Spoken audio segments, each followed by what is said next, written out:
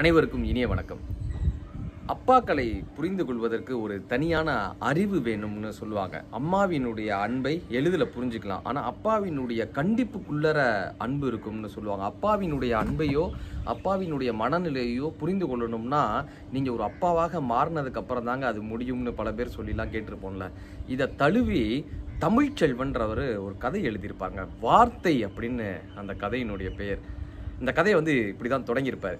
சோலையப்பன் வந்து ரொம்ப பரபரப்பாக தங்கிட்ட இருக்கிறதுலேயே நல்லதா ரெண்டு டவுசரை பார்த்து எடுத்து வச்சுக்கிறாரு. நல்லதா ரெண்டு டவுசர். இப்போ நம்மலாம் நல்ல சட்டை நல்ல ட்ரௌசர்னா என்ன அர்த்தம்னா கலர் போகாமல் புதுசாக இருக்கிற மாதிரி இருக்கிறது நல்ல சட்டை அப்படின்னு சொல்லுவாங்கல்ல ஆனால் இந்த சோலையப்பனுடைய மிகப்பெரிய விஷயம் என்னன்னா பின்னாடி பக்கம் உட்கார்ற பக்கம் கிளியாமல் இருக்குல்ல. அதுதாங்க அவரை பொறுத்த வரைக்கும் நல்ல டவுசர். உட்கார்ற இடத்துல கிளியாமல் இருக்கிற மாதிரி இருக்கிற ரெண்டு டவுசர் அதே போல் கிளியாமல் இருக்கக்கூடிய சட்டையாக ஒரு ரெண்டு சட்டை எடுத்து ட்ரங்க் பெட்டிக்கு உள்ளர வைக்கல. ட்ரங்க் பெட்டிக்கு கீழே வச்சுக்கிறாரு. அயன் பண்ணுறாரா அந்த மாதிரி. ஏன்னா அது கடைசி வரைக்கும் அந்த மடிப்பு கலையாமல் இருக்கணும்ல. அதுக்காக ட்ரங்க் பெட்டிக்கு கீழே வச்சுக்கிறான் அந்த பையன். ஒரு பரபரப்பா கிளம்ப ஆரம்பிக்கிறான். இப்படி தங்கிட்ட இருக்கக்கூடிய நல்ல சட்டைகளை வந்து ட்ரங்க் பெட்டிக்கு கீழே மடிப்பு கலையாம வச்சுட்டு அதுக்கப்புறம் டிரைவர் மாமா வீட்டில் போய் பைய கேட்டு வாங்கிட்டு வந்திருக்காரு. அந்த பை வந்து ஒரு பிளாஸ்டிக் பை. அந்த பிளாஸ்டிக் பை கொஞ்சம் அழுக்காக இருக்குது அதை வந்து தண்ணியை வச்சு தொடச்சி அந்த பிளாஸ்டிக் பையை புதுசாக்கி வச்சுருக்காரு. இந்த ஊருக்கு போகணும் அந்த டூருக்கு போகணும் அப்படின்ற பரபரப்பில் அந்த குட்டி பையன் இருக்கான். டூருக்கு போக என்னெல்லாம் வேணுமோ அது எல்லாத்தையும் அந்த குட்டி பையன் ரெடி பண்ணி வச்சுக்கிட்டு இருக்கான். இப்போ டிரைவர் மாமா வீட்டில் போய் பை கேட்ட உடனே அவர்கிட்ட ஒரு புது பை இருந்துச்சு. ஆனால் அதை கொடுக்காம பரன் மேலேருந்து எடுத்து ஏதோ ஒரு பழைய பிளாஸ்டிக் பையை நம்மக்கிட்ட கொடுத்துருந்தாலும் கூட பரவாயில்ல. இந்த தண்ணியை வச்சு தொடச்சோம்னா இந்த பிளாஸ்டிக் பையில் இருக்கிற அழுக்கெல்லாம் போயிருது இல்லை அதுக்கப்புறம் நம்ம அதில் வச்சுக்கலாம். அந்த பிளாஸ்டிக் பையில் எல்லாம் பெருசாக இருக்குல்ல போகிறது எல்லாத்தையுமே வச்சுக்கலாம். அடுத்து பிளான் பண்ணுறான் என்னென்னு. ஒரு வாத்தியார் வீட்டுக்கு போய் வாத்தியார் வீட்டிலேருந்து நியூஸ் பேப்பர் வாங்கிட்டு வந்து நிறையா நியூஸ் பேப்பர் வாங்கிட்டு வந்து ரெண்டு நாளைக்கு தேவையான சாப்பாடுகளை பொட்டலம் போட்டு வச்சுக்கணும். இப்போ இந்த பையன் பார்க்குறான் இந்த பையில் ட்ரெஸ்ஸை வச்சுக்க முடியும் சாப்பாடு பொட்டலத்தை வச்சுக்க முடியும் எல்லாத்தையும் வச்சுக்க முடியும். வேறு என்னடா வாங்கணும்? வேறு என்ன வேணும் அப்படின்னு எப்படி பரபரப்பாக அந்த டூரை பற்றின ஒரு கனவு இருந்துக்கிட்டே இருக்கும்ல குட்டி பசங்களுக்கு. அந்த மாதிரி சோலையப்பன் ரொம்ப பரபரப்பாக இருக்கான். அப்படி வந்து அந்த ஊரில் காலேஜுக்கு போய் முடித்து வீட்டில் இருக்கக்கூடிய முருகேஷ் அண்ணன்ட்ட ஒரு கூலிங் கிளாஸ் இருக்குது முருகேஷ் போனோம்னா அந்த கூலிங் கிளாஸை தர்றேன்னு தலையில் அடித்து சத்தியம் பண்ணியிருக்காரு எப்படியாவது நம்ம வந்து டூருக்கு போகிறப்ப அந்த கூலிங் கிளாஸை வாங்கிடணும். அது எல்லாருக்குமே இருக்கிற கனவு இல்லை.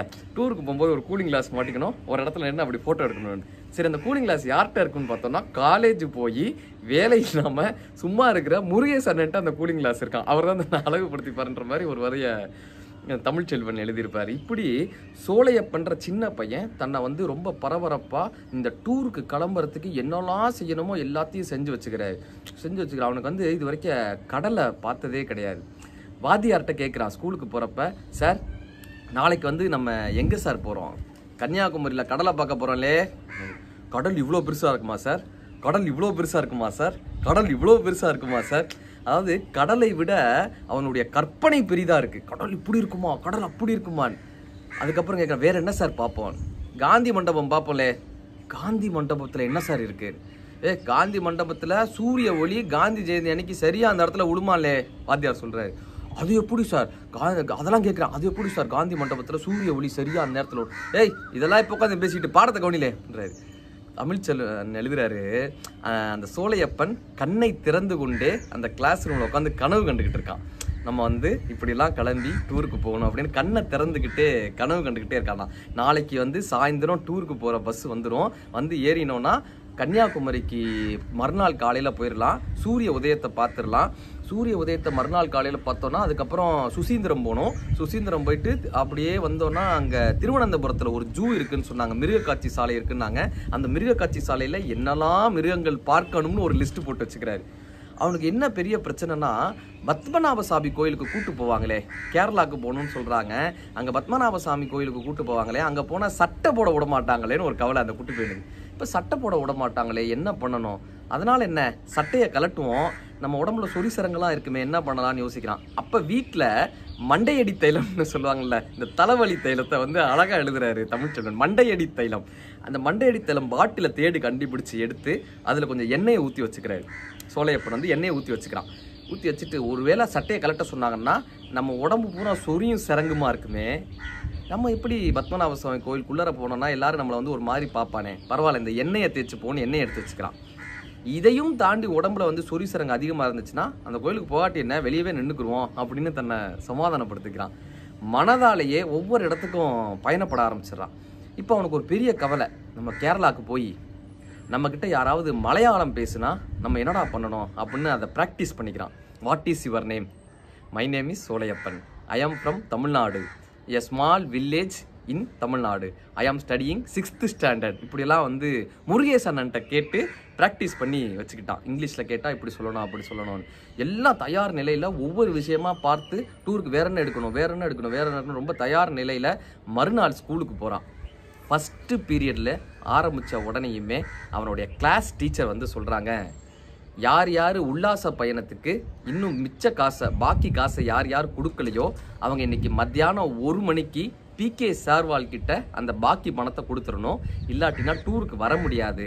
மத்தியானத்துக்குள்ளார கொடுக்கணும்னு சொல்கிறாங்க இவனுக்கு அழுகையை கட்டுப்படுத்தவே முடியல. வேகமாக ஓடுறான் வீட்டுக்கு. வேகமாக ஓடுறான். வேகமாக ஓடி போய் வீட்டை பார்த்தாக்கா வீட்டு கதவு பூட்டியிருக்கு.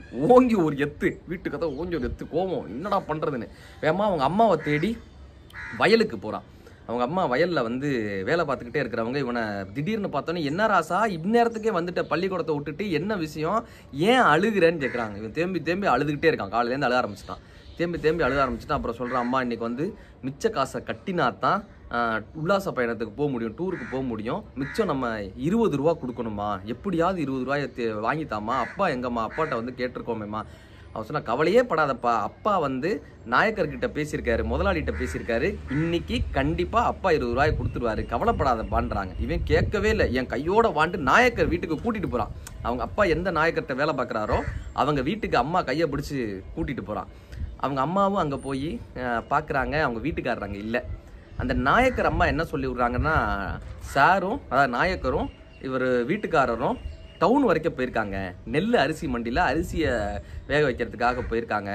இந்த பண விஷயத்தை பற்றிலாம் எனக்கு தெரியாதேன்னு அவங்க அம்மா ரொம்ப அப்பாவியாக சொல்கிறாங்க அந்த நாயக்கர் அம்மா ரொம்ப அப்பாவியாக சொல்லி அந்த குட்டி பையன் அழுகிறத பார்த்து அவனை கூப்பிட்டு இந்தாப்பா மோர் குடிக்கிறியான்னு கேட்குறாங்க அந்த தாய்மை உள்ளத்தோட மோர் குடிக்கிறியாடா தங்கம் ஏன்டா அழுகுற? அப்படின்லாம் கேட்குறாங்க அவனுக்கு ஒரே அழுகு தான் அவனுக்கு ஒரே விஷயம் அந்த இருபது ரூபா எனக்கு எப்படியாவது கிடைக்கணும். நான் இன்னைக்கு உல்லாச பயணத்தை போயிடணும்னு அந்த சோலையப்பன் ரொம்ப மெனக்கெட்டு அழுகிறான்.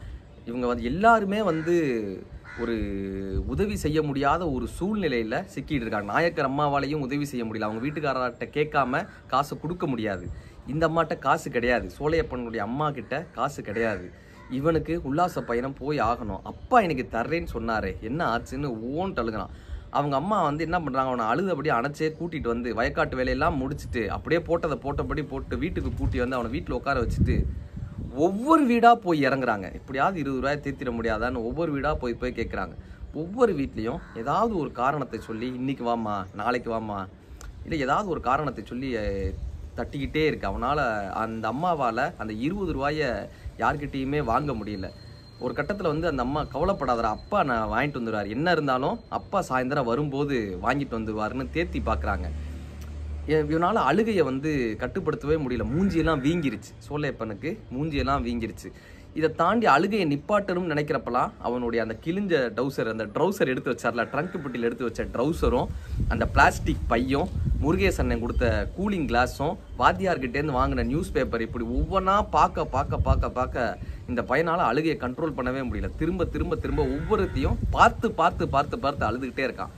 ஒரு கட்டத்தில் அந்த டூருக்கு கிளம்பி அந்த ஊரில் இருக்கக்கூடிய பசங்கள்லாம் போகிறாங்க இவங்க அம்மாவும் சோலையப்பனும் வாசலில் உட்காந்துருக்காங்க இந்த சோலையப்பனை அவங்க அம்மா தேத்திக்கிட்டு இருக்காங்க. அழுகாதரா அழுகாதரான்னு தேத்திட்டு இருக்காங்க. இந்த போகிற பசங்களில் ஒரு பையன் கேட்குறான் என்ன சோலையப்பா நீ டூருக்கு வரலையா? நீ வரலையாடா? அப்படின்னு கேட்டுட்டு அவன் போயிட்டான். இப்போ சோலையப்பனனுடைய அம்மாவாலையும் அழுகையை கண்ட்ரோல் பண்ண முடியல. அவங்க அம்மா பீறிட்டு அழுகுறாங்க. அவங்க அம்மாவும் அழுது அந்த சோலையப்பனை இறுக்கி கட்டிக்கிட்டு அழுகாதரா தங்கம். கவலைப்படாதடா நம்ம தான் திருச்செந்தூர் திருவிழாக்கு போவோம்டா. திருச்செந்தூர் திருவிழாக்கு போவோம்டா. நீ ஏன்டா அழுகிற? இது இதனால ஒன்றும் இல்லடா. திருச்செந்தூர் திருவிழாக்கு அப்பா உன்னை கூட்டிகிட்டு போவாரா ஏதோ ஒரு விஷயத்தினால அப்பா வரலடா. என்னெல்லாமோ சொல்லி பார்க்குறாங்க. ரெண்டு பேராலையுமே அந்த அழுகையை அடக்கவே முடியல. ரெண்டு பேரும் பீறிட்டு மனம் நொந்து அழுதுகிட்டு இருக்காங்க. இரவாகுது. அவங்க அப்பா வரவே இல்லை. இரவு கிட்டத்தட்ட நடு இரவாயிருச்சு. அவங்க அப்பா வரவே இல்லை. தமிழ்ச்செல்வன் எழுதுறாரு இரவு வீடு திரும்பும்போது நாயக்கரிடம் சோழையப்பனினுடைய அப்பா பணம் கேட்டு பார்த்தார். இப்போதைக்கு இதை வச்சுக்கன்னு நாயக்கர் வந்து வெறும் பத்து ரூபாய் கொடுத்துட்டு இருந்தாலும் உன்னுடைய பழைய பாக்கி இன்னும் இருக்குது ஞாபகம் வச்சுக்கோன்னு நாயக்கர் சொல்லிட்டு போனதையும் இந்த சோழையப்பனினுடைய அப்பாவால் என்ன பண்ணுறதுன்னு தெரியாமல் வீட்டுக்கு போனால் எப்படி தன்னுடைய மகனின் முகத்தை பார்ப்பதுன்னு தெரியாமல் அந்த ஊரில் இருக்கக்கூடிய மந்தை மந்தைனா அந்த ஊரில் இருக்கக்கூடிய ஒரு திட்டு மாதிரி இருக்கும்ல பொது திட்டு மாதிரி அந்த திட்டிலேயே படுத்துடுறாரு வீட்டுக்கு போக தன்னுடைய மகனின் முகத்தை பார்க்க அந்த தந்தைக்கு ஒரு மிகப்பெரிய இயலாமை இருக்குல்ல? அந்த மிகப்பெரிய ஒரு வழி இருக்குல்ல? தன்னுடைய மகனின் முகத்தை எப்படி ஏறிட்டு பார்ப்பதுன்னு தெரியாமல் அப்படியே படுத்தபடி வானத்தை பார்த்து கொண்டே சோழையப்பனினுடைய அப்பா யோசித்தாராம்.